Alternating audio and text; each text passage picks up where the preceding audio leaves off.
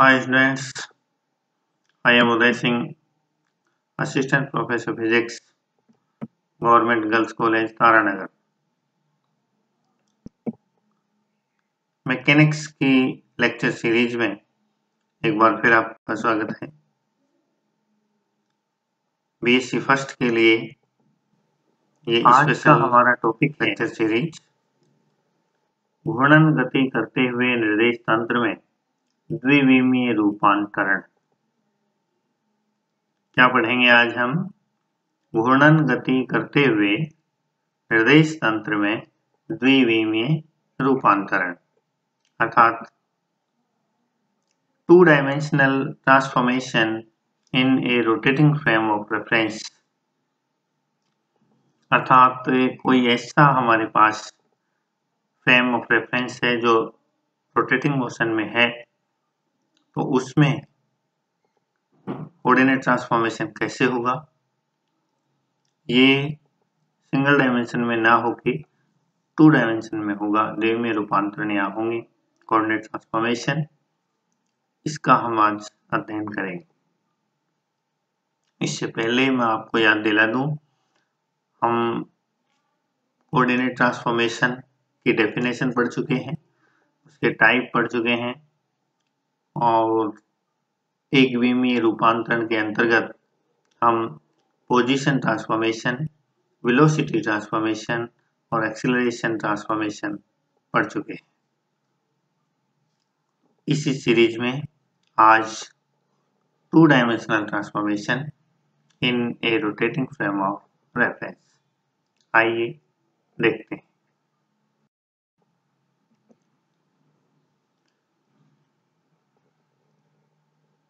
घूर्णन गति करते हुए निर्देश तंत्र में रूपांतरण। इसे एक स्थिति द्वारा समझ सकते हैं। हम मानते हैं कि S और R दो निर्देश तंत्र हैं, जिनके X तथा मूल बिंदु प्रारंभ में अर्थात t बराबर ज़ीरो पर संपाती है। हमारे पास दो फ्रेम ऑफ़ रेफरेंस हैं। एक S है और दूसरा आर है। जिनके एक्स यानी एक्स वाई जेड एक्स और मूल बिंदु, यानी ओरिजिन प्रारंभ में टी बराबर ज़ीरो पर संपाती है। हम साथ साथ इसका फिगर भी देख लेते हैं ताकि और ज़्यादा अच्छे से समझ में आए। वो ये देखिए, ये हमारा एस निर्देश फ्रेम है। और ये हमारा आर निर्देश फ्रेम है। और हम ये बात कर रहे हैं कि t बराबर ज़ीरो पर ये संपाति थे, यानी s r से पूरा ढका हुआ था। S और r बिल्कुल संपाति थे। तीनों की जो x हैं, दोनों के x हैं, जो x वाई जेड एक्स और x डैश वाई डैश और जेड डैश x, वो एक दूसरे के ऊपर संपाति हैं। और मूल बिंदु O और O डैश हम कह सकते हैं। वो भी दोनों बिल्कुल संपाती है। अच्छा फिर क्या होता है? हम क्या अध्ययन कर रहे हैं? घूर्णन गति करते हुए निर्देश तंत्र। तो हमारा जो आर फ्रेम है, वो रोटेट करता है। टी बराबर ज़ीरो पर तो दोनों संपाती हैं, लेकिन फिर क्या होता है? देखिए, माना निर्देशांक तंत्र आर नियत कोणीय वेग ओमेगा से इस प्रकार से घूर्णन करता है।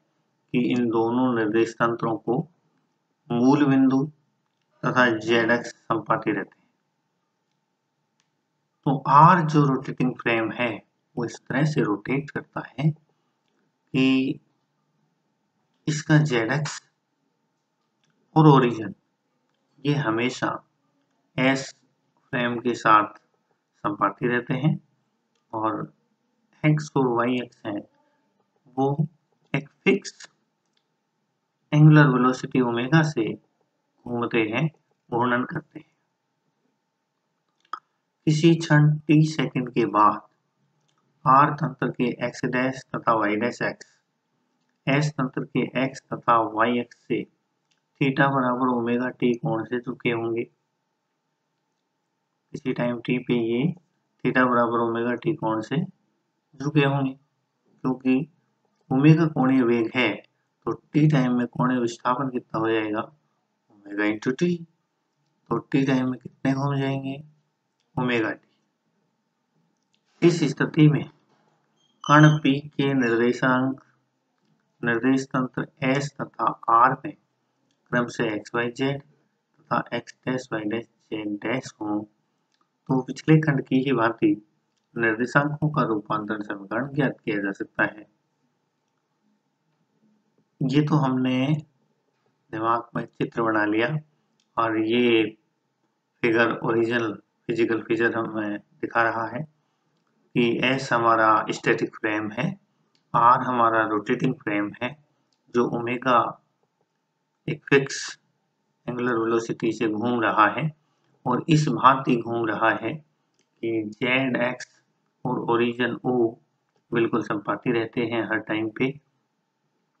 तो किसी टाइम टी पर एक्स डैश और वाई डैश एक्स का एक्स और वाई एक्स के साथ जो एंगल है, वो ओमेगा टी होगा। अब हम कोई बिंदु पी लें, जिसके निर्देशांक हमारे स्टैटिक फ्रेम में एक्स वाई जेड हैं और हमारे रोटेटिंग फ्रेम में x dash y dash dash हैं तो पीछे हमने जो कोऑर्डिनेट ट्रांसफॉर्मेशन पढ़े थे, उसकी सहायता से हम इन दोनों कोऑर्डिनेट्स में static coordinate x y z और rotating coordinate x dash y dash z dash में रिलेशन लिख सकते हैं और वो रिलेशन कुछ इस तरह होंगे। एक्स डैश बराबर x cos omega t plus y sine omega t और वाई डैश बराबर y cos omega t minus x sine omega t और जेड डैश बराबर जेड होगा क्योंकि हम ये कह रहे हैं कि जेड एक्स सदैव संपाती रहती हैं, दोनों की घुमाव, घूर्णन गति इस तरह से है कि ओरिजिन ओ और जेड एक्स हमेशा संपाती रहते हैं। तो जेड एक्स का कोई रूपांतर नहीं होगा और ये जेड एक्स जेड के बराबर बना रहेगा। और ये हम थोड़ा याद करें एक्स और वाई के निर्देशांक रूपांतरण तो नियत कोण से झुके हुए निर्देश तंत्र के हमने रूपांतरण देखे थे बिल्कुल उसी प्रकार के हैं किसी टाइम टी पर। एक्स डैश जब निकालेंगे तो एक्स के साथ cos omega t plus y के साथ साइन ओमेगा टी और वाई डैश जब निकालेंगे तो वाई के साथ कोस ओमेगा टी और एक्स के साथ sine omega t with negative sign तो ये हमारे रूपांतरण समीकरण हुए। कोई दिक्कत इसमें होनी नहीं चाहिए। ये फिगर भी समझने में कोई समस्या नहीं होनी चाहिए। ये हमने एस निर्देश फ्रेम में बिंदु के निर्देशांक ले रखे हैं एक्स वाई जेड और ये दूरी एक्स है जो एक्स कोऑर्डिनेट के बराबर है ओरिजिन से एक्स एक्स पर और ये वाली दूरी वाई है जो वाई कोऑर्डिनेट के बराबर है। इस वाई एक्स पर ओ से लेके यहाँ तक इसको मापेंगे, क्योंकि सारी दूरियाँ हम ओरिजिन से ही मापते हैं। और जेड जो है, उसको हम इस टू डायमेंशनल फ्रेम में जेड को दिखा नहीं रहे हैं। जेड को केवल हम ये इंडिकेट कर रहे हैं और हम जानते हैं कि ये टू डायमेंशन में केवल इसी तरह हम दिखा सकते हैं। यदि थ्री डायमेंशन होता तो ये हमारा जेड एक्स बाहर की ओर निकलता हुआ होता। हम लेते। कई बार हम अंदर की तरफ़ भी लेते हैं। ये हम सारी बातें पढ़ चुके हैं। निर्देश तंत्र कार्डिशियन कोऑर्डिनेट सिस्टम में। दो प्रकार के कोऑर्डिनेट सिस्टम हमने पढ़े थे क्लॉकवाइज और एंटी क्लॉकवाइज तो ये दोनों फिगर में कोई परेशानी नहीं है।